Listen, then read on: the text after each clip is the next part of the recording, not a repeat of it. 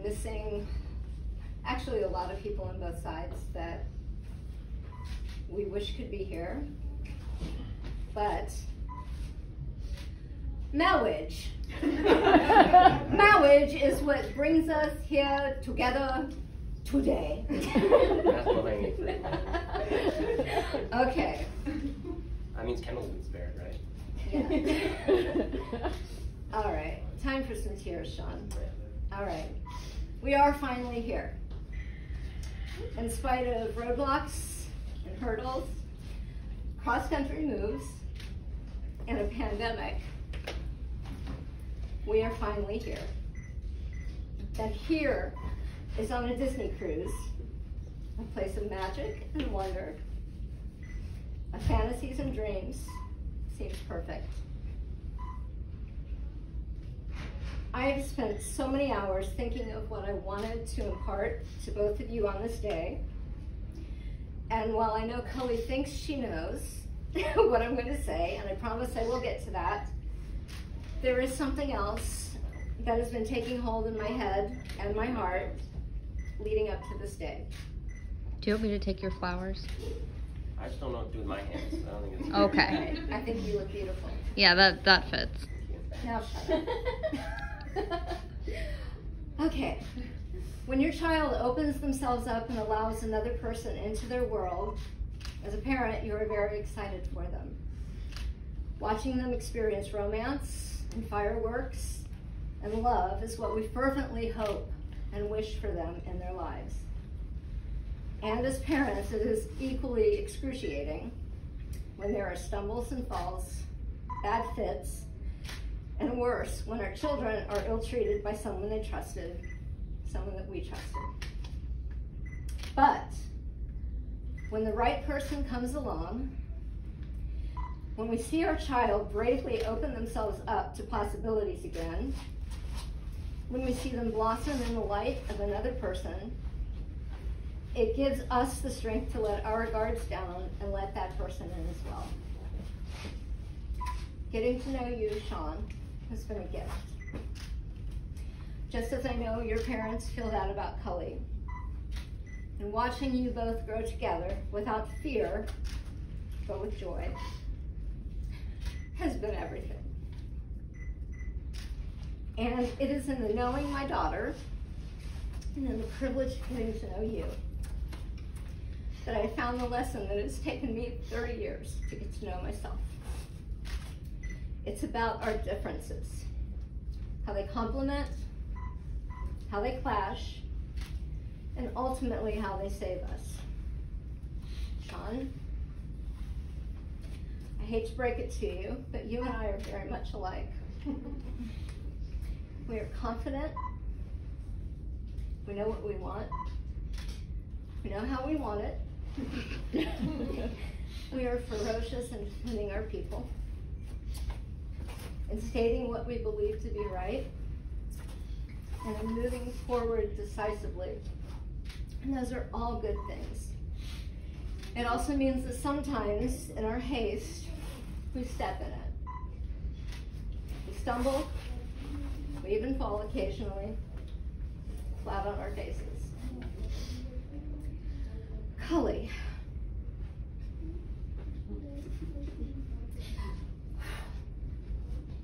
You and I share so much. We can finish each other's sentences.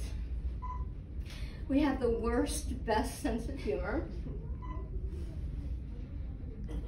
But in every foundational way, you are your dad.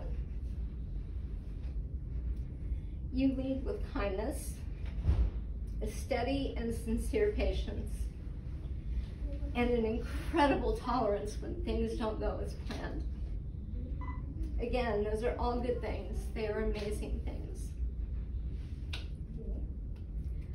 Sean, let, hold on, let me turn page. I'm gonna cry. Okay. It makes for two very different people.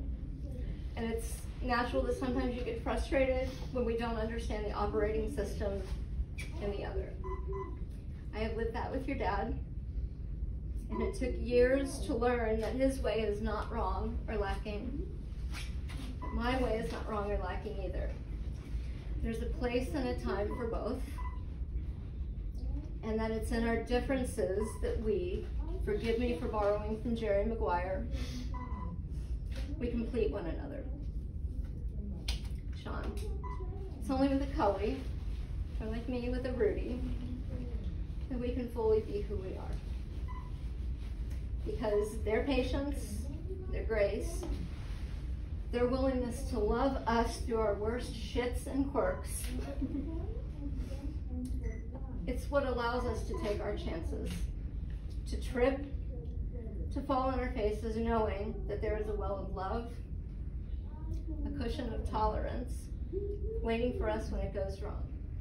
And Culley, it's only with a Sean or a Linda that you can fully be who you are. You will never have a bigger champion, a louder cheerleader when you are uncertain, a stronger hand at your back to steady you, a braver shield in front of you to protect you in this life. It's not easy, and you both have had bird's eye views to the work that a marriage really is, especially when the differences clash with one another but you've also seen the rewards that come, and it's worth it. Over the past months, I have watched these two personality types, the one that has always appeared stronger, and the one that has always stayed quietly in the background, your grandparents, as life has dealt its cruelest blows. And as I have seen his waning in your face robustness, that is your Uncle Pap. Be fully supported by her softer strength, her patience, her grace, her tolerance. What has always been quiet and steady has stepped out of his shadow. And never before have I seen with such clarity that when you have what they have, when you have what your father and I have, when you have what your parents have, when you have what you have, you are safe. You're balanced. You have everything you need, not just when the sun is shining and the days are easy, but when the worst part of for better or worse comes to call.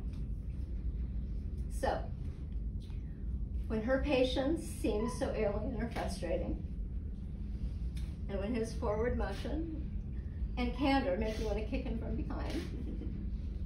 Stop and remember how fortunate you are to have found the balance, the puzzle piece that makes you whole, the person who will defend you in any crisis, celebrate you and all your triumphs, and always catch you anytime you stumble.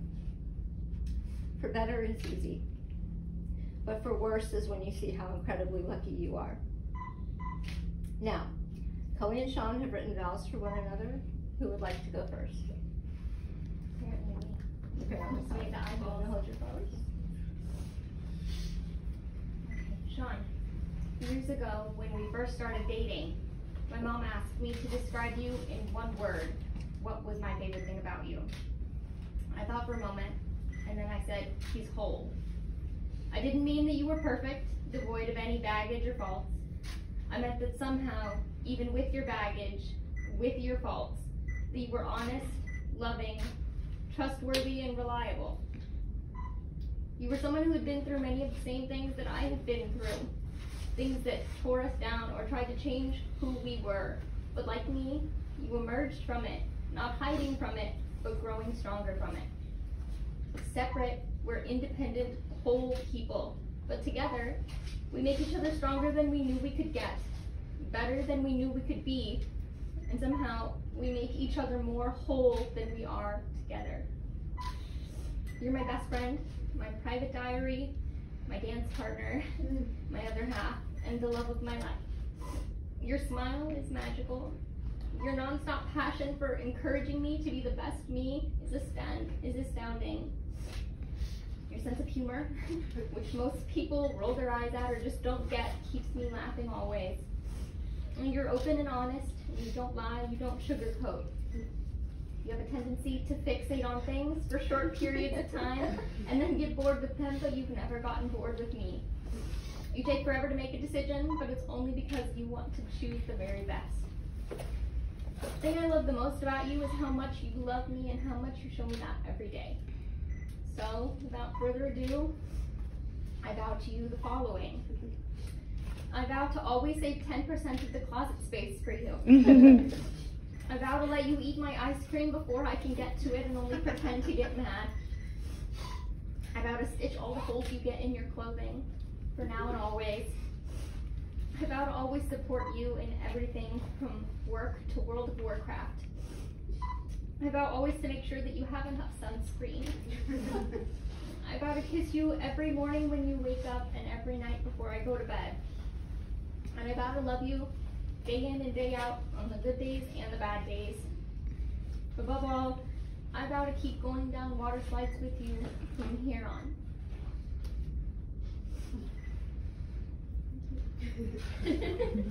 Your turn.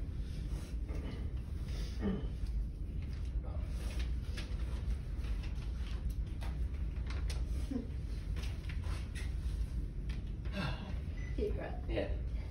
It's, uh, it's anxious today because like I have no jokes. That's rare. It's okay. I have nothing to hide behind here. They'll come later.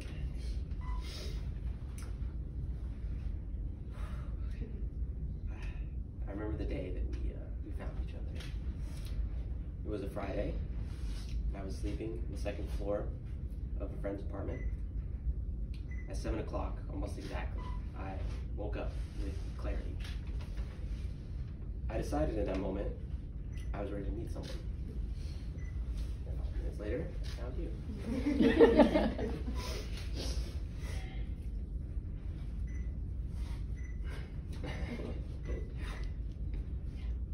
Since then, it's only you. And it will continue to be. Always be only you. So I'll use today to reaffirm what we've already known all these years. Me. I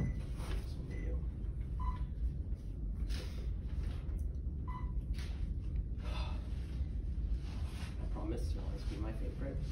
And I'll promise to always be your best friend. I promise to take care of you, protect you, lift you up when you're down. I promise to communicate and share my every thought, fear, and joy, and hear and accept yours as well. I promise to always be honest, to be true. And last, most importantly, I accept responsibility of what it means to have your love. and promise to love you just as much in return for as long as I live.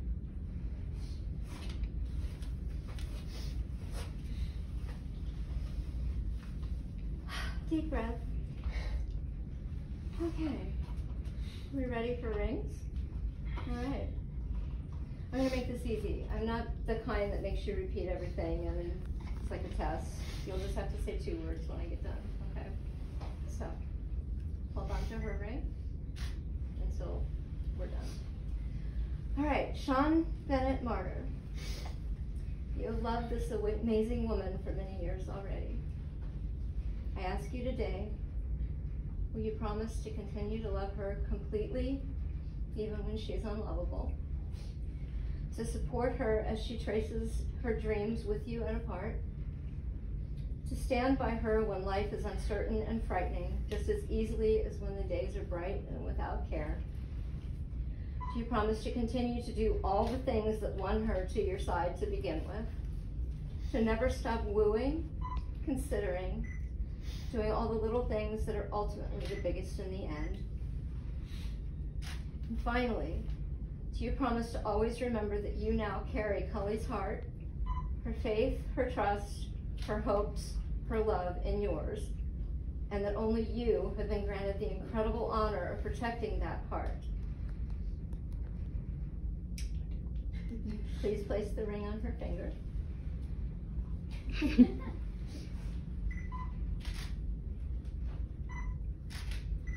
Ready?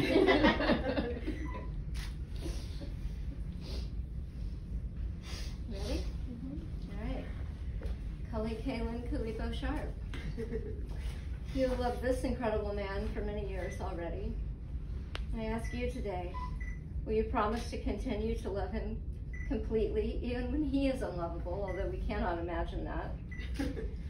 to support him as he chases dreams with you and apart?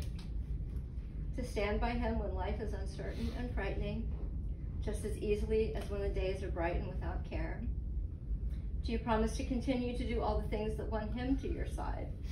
To never stop wooing, considering, doing all the little things that are ultimately the biggest in the end? And finally, and most important, do you promise to always remember that you now carry Sean's heart, his faith, his trust, his hopes, and his love in yours?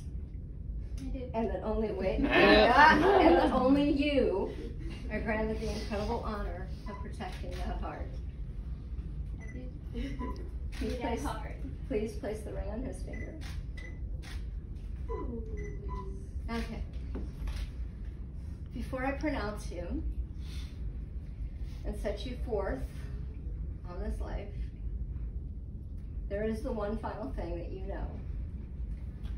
Your dad and I were told this 31 years ago on a tiny island in the Pacific as we sat in front of the minister with bare feet who talked to us before our ceremony. And it's been the mantra for years and years and years. Always build bridges and not walls.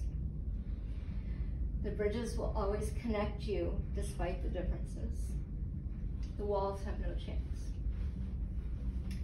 Now, by this ridiculous power vested in me, it is my incredible privilege and my honor to introduce you for the first time as Mr. and Mrs. Martyr. Sean, you may kiss your amazingly beautiful bride. Cue the music.